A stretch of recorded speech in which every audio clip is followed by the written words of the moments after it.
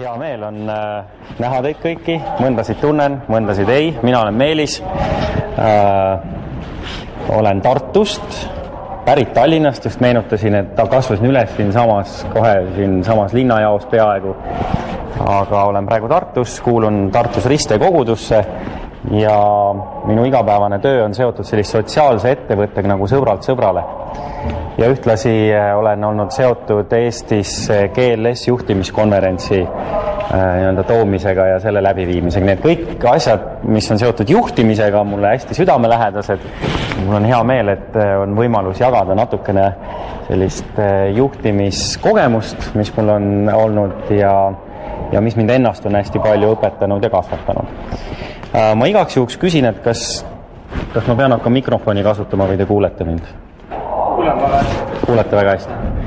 et kui enam ei kuule, siis öelge, siis ma võin sinna mikrofoni rääkida, kuna meid on nii vähe, et siis võib-olla, võib-olla ma hea meelega seda mikrofoni ei hakka alguses rääkima. aga ma mõtlesin, et alustuseks võiks teha ühe sellise väikse praktilise harjutuse, et ma kutsuks ühe inimese vabatahtlikuna siia ette teist, kes tunneb, et tahaks juht olla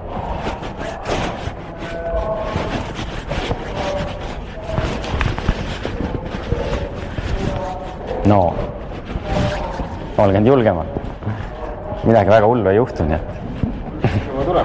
väga hea, aitäh, Mattias. nii, ja nüüd ühte ma tahan veel siia, ühte, kes sedaseli usaldab. ei ole vist väga usaldatav. väga hea. nii, teeme sellise asja. näed, siin on üks sall. ma seon sul korra silmad kinni, tohib? Ma ei tea, kas sellest sallist saab asja niimoodi, et saab silmi kinni, proovime. sina niikaua mõtle, Mattias, välja mingisugune asi, mida sa hästi iseenesest nagu joonistada oskaks siia tahvlile. no mis sul välja tuleks, see võib mingi üks mingisugune ähm, ei taha sind väga niimoodi nagu kinni panna, see võib niisugune üks täiesti selline, mingi lihtne asi olla, ei pea üldse midagi keerulist olema, midagi, mida sa oskad toota nii, on valmis jah ja.? aga nüüd sina seda pliiatsit kasutada ei tohi ja paberit.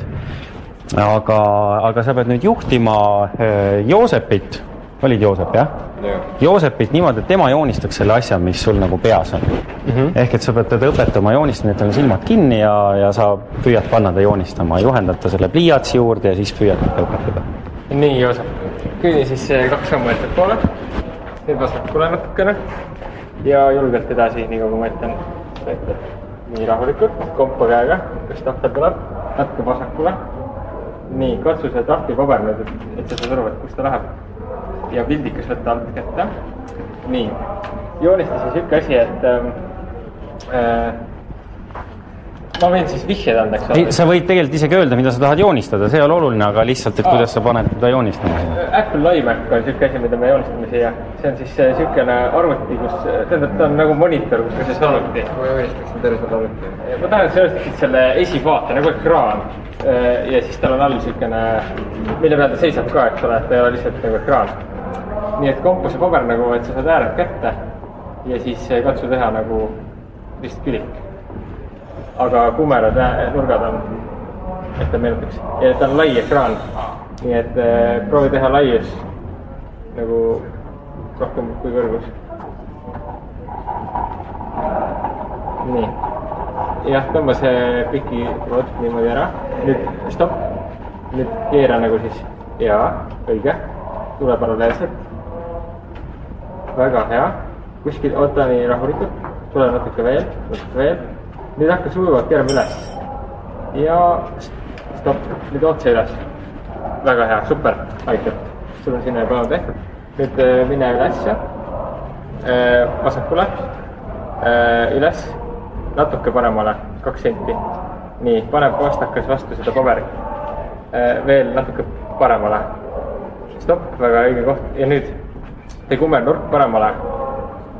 ei, ei, ei, teisele poole, vot ei, mitte nii palju, mine üles tagasi. nii, stopp. nüüd hakka nagu tõmbama paremale poole, vaata seda sirget, see on see ülemine äär monitoril.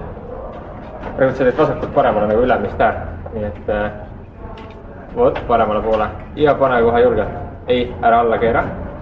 see on see ülemine äär, vaata. vot, vot, vot. kütta sinna, ei, ei, ära alla üldse keera. pane täitsa nagu paremale nagu sirge sirge. ja vot super, super. nii, rahulikult. nüüd hakka vaikselt keerama alla ja täitsa alla, stopp, stopp, stopp, väga õige. nüüd teeme jala ka. nii, liiguta pastakas äh, natuke paberile lähemale. väga hea, natuke paremale. pane vastu paberit ja tõmba alla üks kriips ja siis äh, veel rist, risti kriips ka, et oleks nagu jalg, vaata, sirge sihuke. vot, õige ja teisele poole ka, super, aitab. no ma arvan, et see võiks olla enam-vähem Mhm. sihuke iMac äh, teistsuguses versioonis küll. väga hea, aitäh. nii, tuli iMaci moodi või? no enam-vähem, eks. aga kuidas oli, Joosep, oli raske või? ma, ma enam-vähem vaata peast tean ka seda, aga sa ei taju seda ruumi. no üks asi, mis on juhtimisega, on see, et juhtidel on vahel peas ideed, mida nad äh, arvavad, et kõik teised võiksid näha samamoodi. aga väga sageli on nii, et äh, tegelikult teised ei pruugi näha neid asju sellisena, nagu me juhtidena tahame võib-olla, et nad näeksid. ja palju lihtsam ja üks juhtimise väljakutseid ongi see, et tegelikult nagu panna inimesed nägema sedasama pilti, mis meil peas on. Kui meil on mingi nägemus, mingi visioon, siis äh, see veel ei tähenda seda, et kõik teised näevad seda samamoodi, seda tuleb panna inimesed nägema, seda tuleb püüda visualiseerida võib-olla ja tegelikult äh, väga sageli juhtimises, vähemalt mina, olen põrkunud just selliste väljakutsetega, kus äh, võib-olla on niisugune tunne vahel, et huvitav, et kas teistel inimestel on see nagu sall ümber pead, nad ei näe nagu seda asja nii, nagu mina näen. või, või, või tegelikult ilmselt tõepärasem on see, et võib-olla ma ei oska seda sellisena piisavalt hästi äh, inimestele kommunikeerida. ja see on üks väljakutseid, mis, mis juhtimises on ja, ja, ja ma usun, et, et te olete võib-olla sellega ka ise kokku puutunud äh, juhtides midagi või olles kusagil meeskonnas, et kui te tahate midagi korraldada, midagi ellu viia, siis tegelikult on vaja kogu meeskond panna nagu sellele nägemusele mõnes mõttes elama. ma joonistan siia ühe kolmnurga ja see on nagu mingisugune selline raamistik või alus, mida ma ähm, kuidas mina näen, kuidas võiks läbi mille või äh, võiks nagu juhtimine äh, käia. ja ma joonistan selle kolmnurga, ma alguses joonistasin selle õiget pidi ja siis ma hakkasin mõtlema selle üle ja mõtlesin, et tegelikult ma arvan, et võib-olla on õigem joonistada see kolmnurk tagurpidi. ja, ja selle kolmnurga nurkades võiks olla, üks on mina, siis on teised ja siia alla ma paneksin Jumal vähemalt minu juhtimiskogemus on see, et, et kui sa tahad juhtida, siis sa pead mõtlema ja mõtestama juhtimist läbi nende kolme sellise noh, nagu kolme grupi või kolme, kolme nurga ja ma joonistasin Jumala siia alla sellepärast, et võib-olla me oleme harjunud mõtlema, et Jumal on, peaks olema nagu üleval.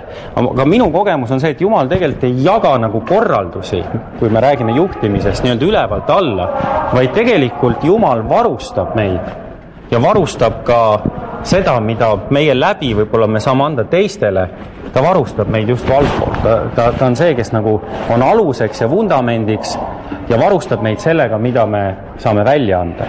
me ei saa midagi teistele välja anda, mida meis endas ei ole. me saame seda võib-olla anda, aga see ei ole väga veenev. ja sellepärast me vajame tegelikult seda, seda liiklust, väga tihedat liiklust selleks, et juhtida teisi hästi ja tähendusrikkalt kui me mõtleme sellise sekulaarse juhtimise peale, kus nagu võib-olla Jumal on nagu ära lõigatud, siis väga sageli äh, mõtestatakse juhtimist teiste juhtimisena, et kui mina olen siin, siis mina pean õppima neid teisi nii-öelda juhtima, tegema siis erinevaid asju, saavutama erinevaid eesmärke. väga sageli võib-olla isegi ka sekulaarses juhtimises unustatakse ära, et tegelikult ma pean õppima tundma ka iseennast, et teisi juhtida. väga oluline on see, et ma saan aru, kes olen mina, mida ma kehastan ja, ja äh, mis nii-öelda on minu sees toimub. Äh, et sellepärast äh, on väga oluline õppida iseennast tundma selleks, et juhtida teisi. üks väga hea ütlus on ja ma arvan, et see on vägagi tõsi, on see, et kõige raskem inimene, keda juhtidel juhtida tuleb, on nad ise. ehk et tegelikult kõige raskem inimene, keda ma pean juhtima, olen mina ise me vahel juhtidena arvame seda, et äh, teised on need keerulised isiksused, teistega on probleemid. aga väga sageli tegelikult need äh, äh, probleemid äh, on tegelikult meis endas ja me peame õppima ennast juhtima ja teadvustama seda, kuidas meie saame nii-öelda varustada teisi ja sellepärast nagu see ringliiklus on oluline, ma arvan, meelde jätta, olles kristlik juht, siis äh, nagu küsida Jumalalt pidevalt ka seda, millega sina tahad mind varustada, mis on see nägemus, mida sina tahad mulle anda ja kuidas ma saaksin kõige paremini teisi aidata ka selle nägemuse poole liikuda. Ähm, teine asi, mida, mis on nagu oluline juhtimise puhul ja mis on võib-olla selline minu jaoks saanud selliseks alus tõeks on see, et tegelikult juhtimisotsused, mida me teeme, äh, lähtuvad põhiliselt kahest kohast. väga sageli arvatakse, et, äh, et kõige olulisem on see, et juhid oleksid targad ja oleksid kompetentsed ja et nad oskaksid nagu teha selliseid häid pragmaatilisi otsuseid, ehk et see, mis tuleb meil siit peast ja ajust. Aga vähemalt sama oluline on siit ajust paarkümmend sentimeetrit allpool olev koht ja see on süda. Ehk et äh, olulised juhtimisotsused tuleb teha selles vahemikus. Ja see skaala peab siin niimoodi natuke pidevalt nagu liikuma, on, vahel on otsuseid, mis tuleb teha võib-olla praktiliselt täiesti südame järgi. ja, ja vahel on nii, et need, need otsused võivad olla isegi mõistusele nagu äh, vastuvõetamatud või, või tunduvad, et need ei ole mõistlikud otsused. ja ometi sa tunned oma südames, see on õige asi, mida teha ja kui selle kolmnurga juurde tagasi tulla, et kui see juhtimise selline alus on rajatud sellele jumalikule tarkusele ja Jumalale, siis Jumal varustab meie südant vahel just nende mõtete ja nende otsustega, mida on vaja teha, võib-olla vahel nagu sellisele isegi mõistusele nagu vastuolus olevana. Eh, ehk et eh, aju ma ei oska siia hästi joonistada, ma vajan mõistus aga selles vahemikus on oluline teha otsuseid ja tunnetada, mis on see, mis on hetkel õige ja, ja püüda nagu alati ka nendesse otsustesse, mis on tegelikult tehtud ratsionaalselt, panna oma südant. On erinevaid võimalusi, kuidas kommunikeerida ka võib-olla raskeid otsuseid või raskeid teemasid. ja minu juhtimispraktikas just on hetkel nagu üks selline keeruline teema käsil, kus inimesi tuleb nagu viia sellisest mugavustsoonist välja, kus nad väga välja ei taha tulla. Ja see otsus, mida me teeme, see on ühest küljest selline ratsionaalne otsus, see on majanduslik otsus, see teenib nii-öelda sellist, ütleme, üldist eesmärki paremini. ja, ja, ja et seda otsust nagu ellu viia, siis äh, noh, üks võimalus on see, et lihtsalt öelda, et me nüüd nii teeme, see on majanduslikult ratsionaalne, panna kõik need kalkulatsioonid sinna juurde, aga jätta nagu kõrvale kõik see, mida tegelikult inimesed selles protsessis tunnevad, need, need, keda see otsus puudutab. Äh, ja mõnes mõttes noh, majanduslikult ja juhtimise seisukohalt, organisatsiooni juhtimise seisukohalt, see on ju, kõik on nagu õigesti tehtud, kõik on ära põhjendatud, kõik on ratsionaalne. Äh, aga selleks, et teha seda otsust võimalikult hästi ka nendel inimestel, keda see puudutab, on vaja tegelikult panna ennast natuke nende inimeste olukorda, püüda aru saada, mida nad tunnevad ja püüda võimalikult hästi neid nii-öelda juhtida eh, eh, selles protsessis, et nad tunneks, et nemad on ka selles olukorras väärtustatud, mitte ainult majanduslikud argumendid.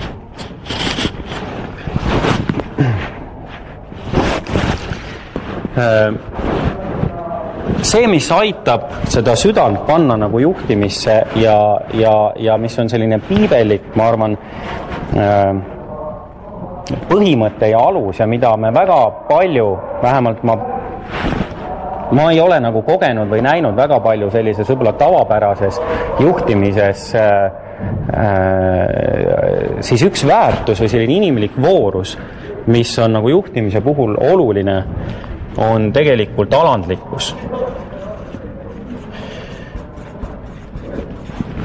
juht peab olema alandlik ja kui mõelda jällegi võib-olla sellisele tavapärasele loogikale, siis pigem nagu mõeldakse, juht peab olema karismaatiline, juht peab olema keegi, kes suudab olla veenev, keegi, kes teab täpselt, kuidas asju tuleb teha. aga tegelikult äh, alandlikkus on midagi sellist, mis teeb juhtidest nagu tõelised juhid. on erineva tasemega juhte, aga alandlikkus on see, et ma olen valmis kuulama ma olen valmis püüdma inimestest aru saama, ma olen valmis hoolima teistest inimestest. ja tegelikult selle alandlikkuse juurde peaks käima teenimine. ehk et äh, juhtimise põhimõte ei peaks olema see, et ma juhin äh, või, või nii-öelda no jah, juhin teisi, vaid ma teenin teisi. ehk et äh, ma varustan neid sellega, mida nendel on vaja selleks, et teha oma tööd hästi ja saavutada neid eesmärke, mis nende töös on hästi. Äh, ja see nagu keerab jälle niisuguse võib-olla juhtimise tavapärase arusaama natukene tagurpidi. et tegelikult ma pean olema avatud teistele, avatud kuulama ja, ja avatud tõesti varustama teisi. ma ise äh, olen äh, oma meeskonnaga äh, nagu viimase kui ma alustasin seda tööd, kus ma tänaseni olen, kaheksateist aastat tagasi, ma olin peaaegu üksinda. kõige raskem inimene, keda juhtida tuli, olingi ma ise. olen tänaseni, eh, on, tänaseni on kõige raskem isik, keda juhtida ma ise, aga palju teisi inimesi on juurde tulnud. ja, ja ma pidin tegema kõik asjad nii-öelda ise ära, eh, kõik tehnilised asjad, mõtlema visiooni peale, sekretäri tööd, kõik, kõike tuli praktiliselt ise teha täna on öö, olemas meeskond, aga, aga kui sa oled nagu harjunud ise tegema asju, siis on sellest harjumusest üsna raske lahti saada. ja minu väljakutse on see, et kuidas nüüd jõuda selleni, et varustada nagu teisi inimesi ja püüda nagu ise pigem tagaplaanil olla. kaks sellist narratiivi või sellist võrdpilti, millega ma olen mänginud viimase aasta jooksul, on see, et kui ma mõtlen nagu lennuki peale või lennunduse peale, siis kui panna juht näiteks sellesse noh, pilti, lennunduspilti, siis võib-olla esimene mõte, mis pähe tuleb, on see, et on lennuki kapten, et ta peab vaatama, et kõik oleks korras ja kõik, lennuk tõuseks õhku turvaliselt, oleks õhus turvaline, maanduks korralikult ja, ja tuleks nagu toime nende olukordadega. ja ma arvan, et mingil hetkel peavad kõik juhid olema sellises kapteni rollis aga see, mida nagu, kuhu mina nagu olen jõudnud, on see, et võib-olla minul on täna aeg olla rohkem tulla sealt lennukist maha, öelda, et aga ma olen selles lennujuhtimistornis hoopis.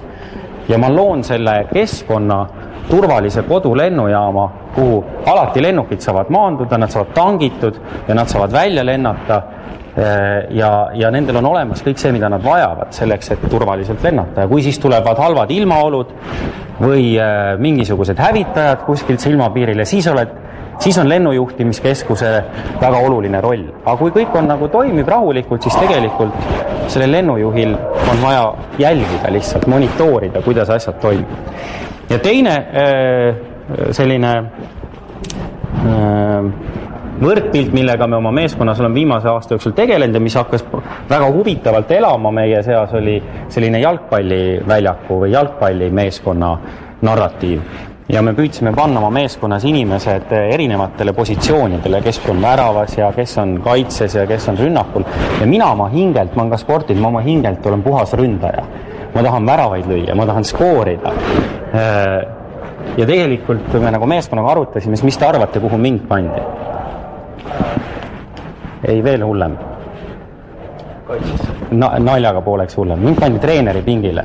ma ei saa üldse väljakul olla ja sellega kohanemine on võtnud aega, aga teisest küljest ma olen hakanud mõtlema, et aga võib-olla see on midagi sellist, kus just mina saan kõige olulisemat rolli täita eh, oma andidega ja nende kogemustega, mis tänaseks on olnud. olla treener ja olla see, kes eh, aitab luua seda mängutaktikat, kes näeb nagu kogu pilti ja kes äh, suudab vajadusel mingeid asju ümber tõsta, ümber mängida ja, ja, ja seda nii-öelda mängutaktikat valida.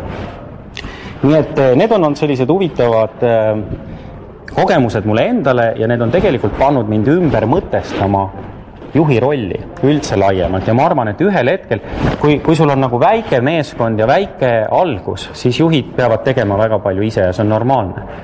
aga kui sa ühel hetkel nagu see organisatsioon või meeskond kasvab, siis ka juhid peavad õppima kohanema ja nad peavad nagu astuma mingisugusele järgmisele tasandile ja siis jälle järgmisele tasandile. ja on palju juhte, kes ei suuda kohaneda selliste nii-öelda arenguhüpetega ja, ja sel juhul äh, sellest ei ole ka midagi halba, see ei tähenda, et tegemist oleks halbade juhtidega, aga iga juht peab nagu seda oma dünaamikat püüdma nagu hinnata, kas ma olen valmis selle sammu astuma ja kui ma ei ole seda valmis astuma, siis võib-olla ma jäängi sellele tasandile siin, võib-olla ma jään selleks, sellele kapteni tasandile lennuki kapteni tasandile ja, ja ma toimetan seal väga hästi edasi. aga organisatsioon võib-olla ühel hetkel vajab seda lennujuhtimiskeskuse taolist juhti, kes nii-öelda suudab nagu varustada, suudab nagu luua seda keskkonda. ja üks asi, mida, mida jällegi, no mis on nagu minu jaoks niisugune võib-olla mõttetasandil mäng olnud, aga mis äh, Äh, milleni ma olen jõudnud, on see, et, äh, et vahel öeldakse juhtide kohta, et noh, on kahte liiki juhte, on need, kes juhivad protsesse ja on neid, kes juhivad inimesi.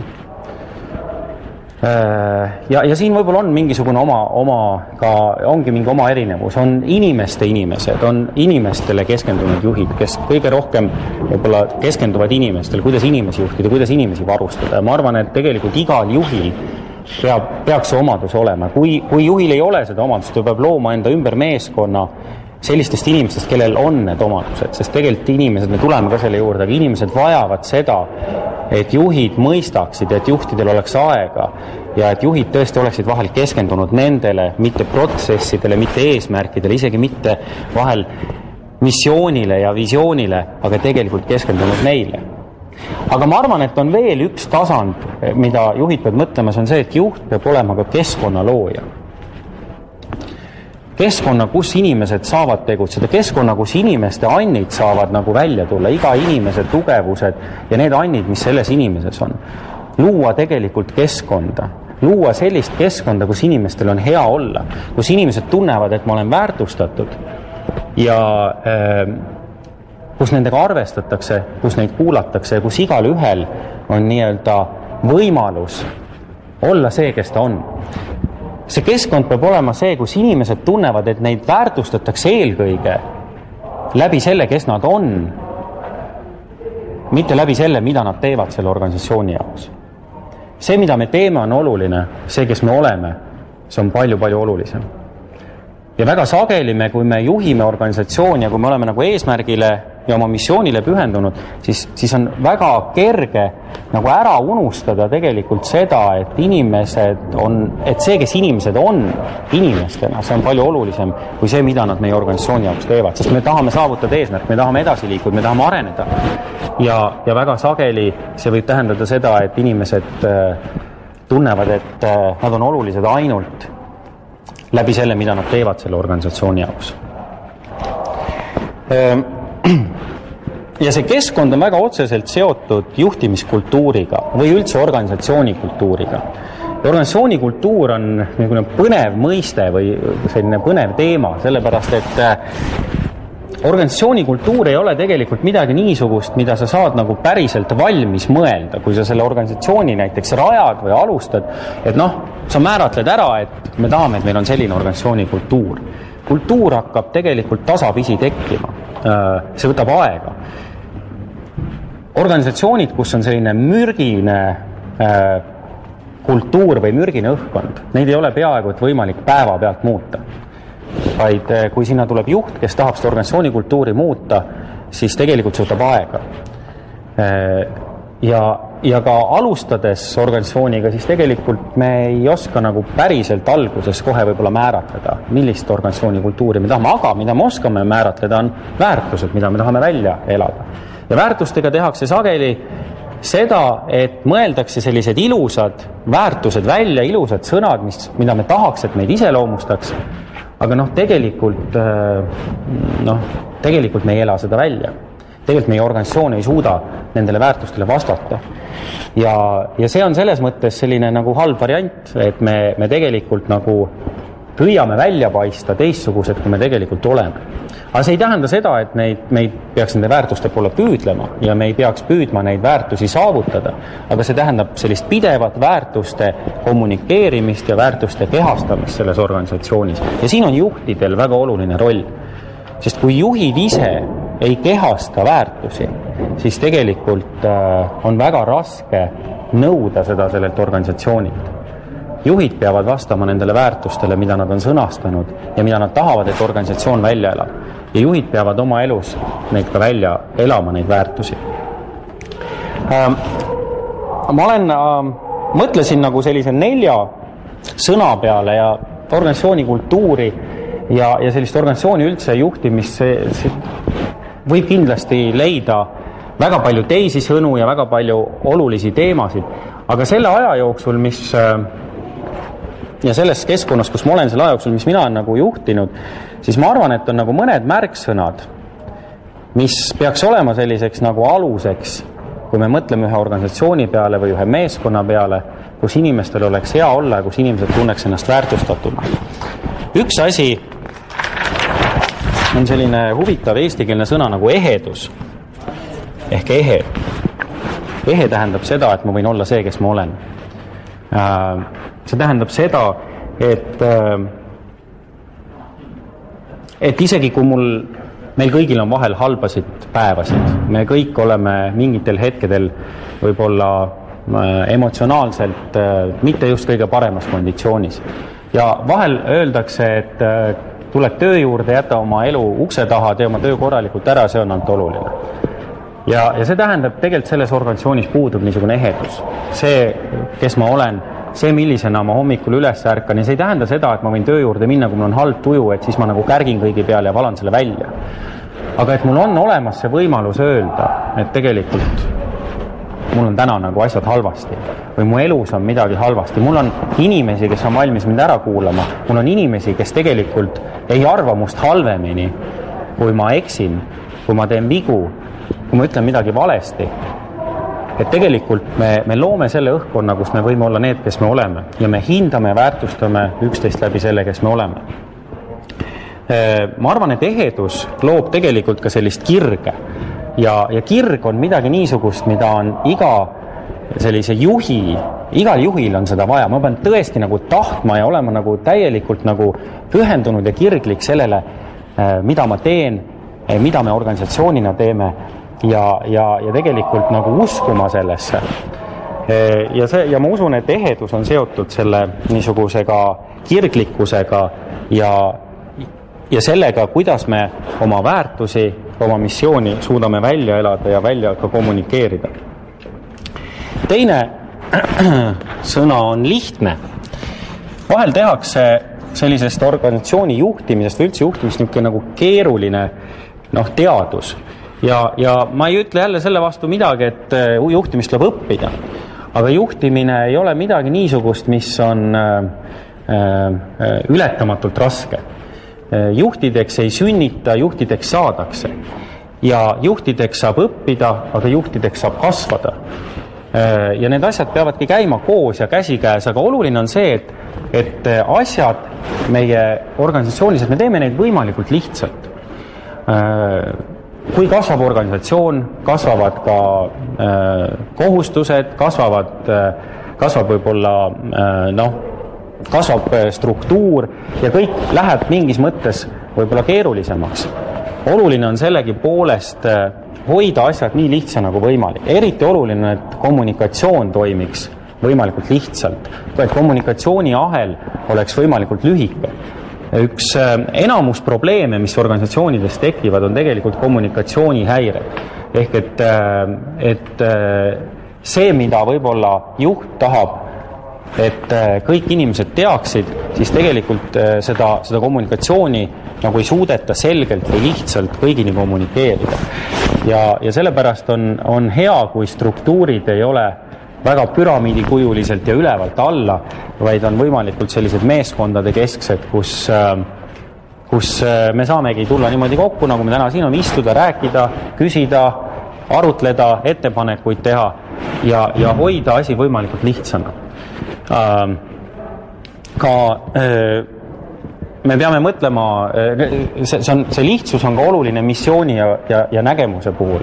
see, mida me teeme ja miks me teeme, on oluline seda võimalikult lihtsalt, võimalikult lühikeselt sõnastada kui me teeme missioonilause või visioonilause nii pika, et sa pead vahepeal mitu korda hinge võt-, hingama sisse, et seda välja öelda, siis tõenäoliselt mitte keegi teie organisatsioonist ei suuda seda nii-öelda une pealt meelde jätta. aga oluline on see, et see, miks me oma selles organisatsioonis oleme, mida me teha tahame, et see oleks meile kõigile nagu väga selgelt aru saada ja teada. ma oma organisatsioonis, kui me tegime selliseid töötajate koosolekuid, siis meie sellist visioonilauset, mis on üks lause ja ei ole väga keeruline. Ma iga koosoleku alustasin sellega, et ma palusin, et töötajad nagu ütlevad ja sõnastavad selle. ja esimesed paar korda see ei tulnud sealt välja mitte kuidagi, nad teadsid, et ma küsin seda ja seda ikka ei tulnud. aga nüüd juba, kui me nagu nüüd, nüüd küsin, siis enamus inimesi siiski teavad seda ja, ja, ja, ja see tegelikult tähendab sellist pidevat kommunikeerimist ja jällegi mitte lihtsalt lause kommunikeerimist, aga ka seda, et aga miks see lause on meie jaoks oluline, miks me seda teeme ja miks me sellele missioonile tahame, tahame elada. nii et lihtsus on hästi oluline, kui me räägime organisatsiooni eh, kultuuris. siis on avatus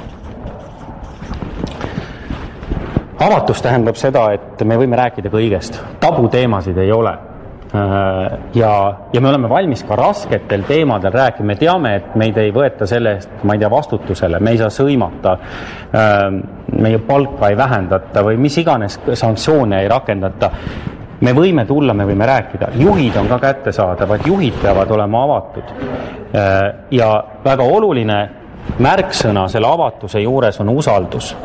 Usaldus on tegelikult üldse sellise organisatsiooni kultuuri loomise üks aluseid ja inimesed tulevad erinevatest keskkondadest meie meeskondadesse ja tegelikult äh, see, mida äh, ma olen näinud, siis äh, inimesed toovad kaasa ju need kogemused, mis nendel on eelmistes kohtades. inimesed toovad kaasa kogemused, mis nendel on kodudes ja väga sageli tegelikult on probleem selles, et ei usaldata teisi. kui ma midagi räägin, kui ma midagi ütlen, et siis tegelikult äh, seda võidakse ära kasutada mu vastu ja, ja, ja selle usalduse loomine võtab aega, aga see tähendab seda, et me oleme avatud, me oleme valmis kuulama, me oleme valmis inimesi, inimestele keskenduma ja nendest hoolima tõeliselt. ja, ja sellepärast äh, luua avatud õhkkond, kus see avatus tähendab selles mõttes ka juhtimises väga sageli probleeme. avatuse kõige parem nii-öelda hind, äh, selline nagu äh, äh, noh, äh, avatuse hindaja on see, kui inimesed hakkavad tulema teile öö, äh, öö, äh, probleeme rääkima, mis nende elus on. kui nad hakkavad tulema teile raskeid teemasid rääkima. minu kogemuses viimasest paarist nädalast on see, kus tegelikult inimesed on tulnud väga tõsiste eraeluliste probleemidega nagu lagedale ja, ja need on nagu väga sellised sügavad ja need inimesed on nagu väga puntras oma eluga. ja nad võiksid töö juures ju sellest mitte rääkida, sest et ähm, noh, võib-olla siis äh, must tahetakse lahti saada, sest et mu, e-, kui mul on probleemid, võib-olla ma ei ole hea töötaja, aga nad tegelikult räägivad. Sest et see on üks koht, kus nad loodavad, et neid, neid mõistetakse ja võib-olla neid saadakse toetada nii et avatus äh, on hästi oluline, aga see tähendab seda, et te peate olema valmis tegelema inimeste probleemidega. ja äh, viimaseks ma kirjutaks siia veenev, kõik organisatsioonid tahavad veenvad olla. ja ala, hakatakse sageli peale sellest äh, veenvusest, et veenda, et meie organisatsioon on hea, see, mida me pakume, see on nagu hea ja seda tehakse marketingiga, seda tehakse nii-öelda sõnadega, vahenditega tänapäeval aga tegelikult veenev organisatsioon on see, kus need kolm asja on äh, enne täidetud, see on pigem tulem. kui see on midagi sellist, millest nagu peale hakatakse, et kõigepealt püüda veenda, et meie organisatsioon on hea, siis äh, kui te näete, siis siit tuleb välja selline ilus sõna nagu elav. ma arvan, selline organisatsioon on elav organisatsioon, mis paistab välja, mis kasvab äh,, mis tõmbab inimesi ligi. aga kui te hakkate valest otsast peale, siis seda teistpidi lugedes tuleb vale. ja tegelikult äh, äh, nendes organisatsioonides inimesed, kus äh, keskendutakse nii-öelda valedele asjadele, kus tegeletakse võib-olla sellele valele otsale, inimesed tunnevad, et, et nad ei ole piisavalt väärtuslikud, et kõik muu on olulisem. aga, aga nemad inimestena, kui nad ei saa olla avatud, kui nad ei saa olla ehedad, kui nad ei mõista asju lihtsal viisil ja kui nende, nende, nendele ei kommunikeerita asju lihtsalt, siis nad tunnevad, et midagi on valesti. ja, ja, ja, ja vahel võib öelda, et nii lihtne see ongi ja ometi seda kõike saavutada on suhteliselt keeruline, see võtab aega, see nõuab, et inimesed hakkavad usaldama. aga kui see organisatsioon hakkab elama ja te hakkate kogema seda, et inimesed tõesti äh, on avatud, on ehedad, siis nendele meeldib siin olla ja see loob lojaalsust. ma tahan äh, öelda veel seda, et äh, väga sageli organisatsioonid ei taha tegeleda võib-olla selliste keeruliste inimestega või, või tahetakse leida võimalikult, võimalikult häid, võimalikult kompetentseid inimesi organisatsiooni. mina, kui ma otsin inimesi tööle, siis ma ei otsi mitte niivõrd valmis produkti või valmis kompetentsi, vaid pigem potentsiaali. ja, ja vahel inimestest võib välja tulla väga palju seda, mida mida võib-olla nad isegi endas ei tea, et nendes on ja siin on juhtidel oluline roll. aga ma olen hakanud nimetama isegi meie organisatsioonis ühte meeskonda selliseks Taaveti meeskonnaks. ja, ja kui Taavet äh, pidi põgenema kuningas Sauli eest, siis, äh, siis ta sai endale ka ühe meeskonna, ühe järgijaskonna ja nende kohta on äh, esimese Samueli kahekümne teises peatükis teises salmis öeldud, et nad olid, ühesõnaga nad olid täiesti punt probleemidega inimesi, kellel olid võlausaldajad kaelas, kes olid kibestunud ja ühesõnaga selline noh, nii-öelda ühiskonna natuke nagu jäänud.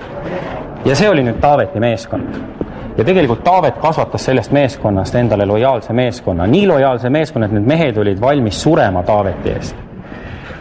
Ehm, ja meie organisatsioonis meil oli ka üks selline noh, ütleme täna ka ja tänapäeva Eestis väga palju äh, hakkab, kui sa võtad ka inimesi tööle, ühel hetkel hakkavad tulema kohtutäiturite teated, et nad on võlgu kusagile ja nad, nendel on elus mingid probleemid ja mis sa teed? Või võib-olla loogiline mõtlema, eks jälle see, et noh, kui, kui ma pean ta palgast veel kinni pidama seal mingid maksud ja võlad, et noh, siis ta ei ole väga motiveeritud töötama aga tegelikult see on üks võimalus, kuidas ka neid inimesi hakata väärtustama, hoolima ja aidata võib-olla nendel edasi liikuda. ja nendesse inimestesse, kes on võib-olla selline keeruline seltskond, siis ainus võimalus nende inimestega edasi liikuda on tegelikult nendest hoolida, neid armastada, ennast ohverdavalt armastada ja näidata seda välja, et nad on olulised. ja need inimesed hakkavad muutuma, nad muutuvad lojaalseks nad hakkavad tegema ka, töö tulemused lähevad paremaks ja nad tõesti kogevad, et neid väärtustatakse, võib-olla teie organisatsioon on esimene koht, kus tegelikult selliseid inimesi väärtustatakse. nii et ärge andke alla selliste inimeste suhtes, kellel on, kellel on probleemid, kes on keerulised inimesed, sest tegelikult nad äh, vajavad hoolimist, nad vajavad armastust ja nad vajavad, et, et neid usaldatakse. ja lõpetuseks ma tahan öelda seda, et tegelikult see juhtimise one oh one ehk juhtimise abc-s olete teie. tegelikult juhid on need, kes äh, lõpuks, äh, kelle peale vaadatakse. Te võite olla äärmiselt targad strateegid ja te võite olla äärmiselt targad süsteemide loojad ja te loote need süsteemid valmis, te ehitate need valmis ja lõpuks inimesed ei vaata niivõrd neid süsteeme ja strateegiaid, nad vaatavad teid, kuidas teie seda kehastate, kuidas teie seda välja elate strateegiline peab juhtimises olema, aga keegi on öelnud, et juhtimise kultuur, kultuur sööb strateegia hommikusöögiks. ja see paneb nagu võib-olla selle perspektiivi paika, et tegelikult kõige olulisem on luua see keskkond ja kultuur, kus inimesed tunnevad, et nendest hoolitakse, neid väärtustatakse ja sellest keskkonnast hakkavad tulema välja võrratult head äh, ideed ja strateegiad ja nägemused ja missioonid, sellepärast et inimesed tunnevad, et nendest, te, te kasvatate nende inimeste potentsiaali ja te aitate sel parima nendest inimestest välja tuua. nii et äh, keskenduge sellele, kuidas luua elav organisatsioon ja, ja kuidas pühenduda inimestele. ja ma arvan, et see on see, mis on tegelikult juhtimise kõige olulisem alus ähm, mu aeg, me hakkasime küll hiljem peale, aga aeg on läbi, aga võib-olla kui on tekkinud mõni küsimus äh, või, või mingisugune kommentaar või midagi, mis teid nagu kuidagi kripeldama midagi jäi, et siis ma arvan, et äh, võib-olla on paar minutit veel aega seda, seda, seda teha.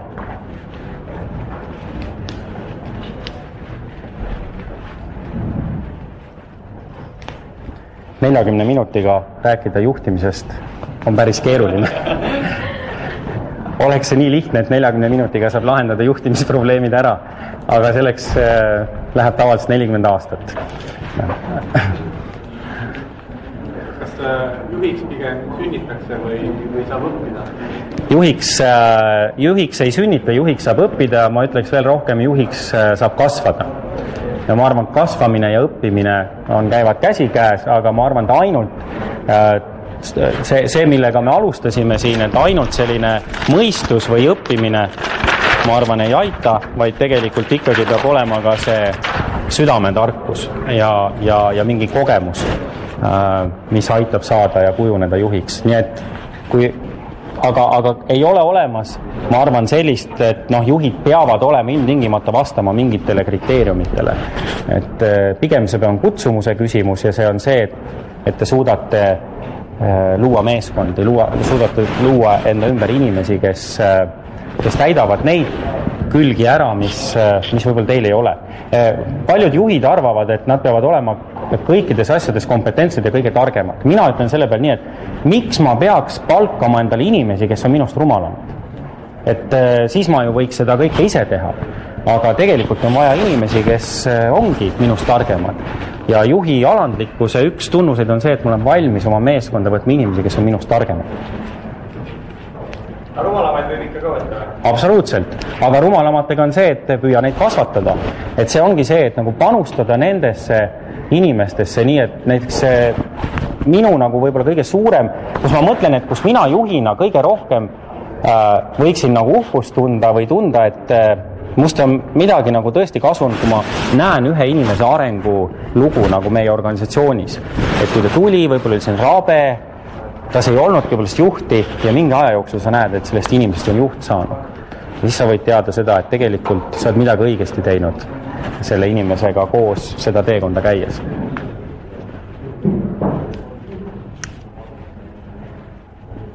isegi kui need inimesed on sinust targemad, siis nad oskavad ma arvan küll. või mõtled, et ah, koht ei tea midagi? Äh, ma arvan, et see on nüüd seotud selle juhtimiskultuuriga ja üldse selle kultuuriga, mis organisatsioonis on. aga tegelikult äh, ma arvan, et juhti ei hinnata eelkõige tema pea pärast, vaid tegelikult tema isiksuse, tema olemuse ja ma arvan, tema südame pärast. ja inimesed tunnevad ja tajuvad selle ära küsiks juba hiljem, et äh, mis teil see enda see teenistuskäik on, mis te töötate? mina olen töötanud, ma töötan, äh, juhin sotsiaalset ettevõtet Sõbrad sõbrale, meil on täna äh, selliseid, meil on viisteist poodi üle Eesti, meil on heategevusprojektid, umbes sada töötajat ja ma aitan korraldada juhtimiskonverentsi Global Leadership Summiti GLS juhtimiskonverentsi Eestis. Need on nagu põhilised asjad viisteist juhataja. mm. -hmm. nii, aga aitäh teile. ja loodetavasti siis kohtume mingisuguste juhtimisväljakutsete juures jälle